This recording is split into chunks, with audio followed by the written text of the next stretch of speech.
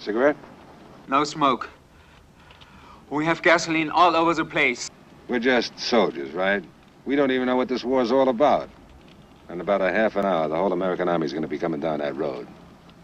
Why don't you do yourself a great big fat favor, huh? And get the hell out of here. You see, we're just a private enterprise operation. You, the American Army. No, baby, we ain't. You know what's inside that bank, man? There's $16 million worth of gold in that bank, sweetheart.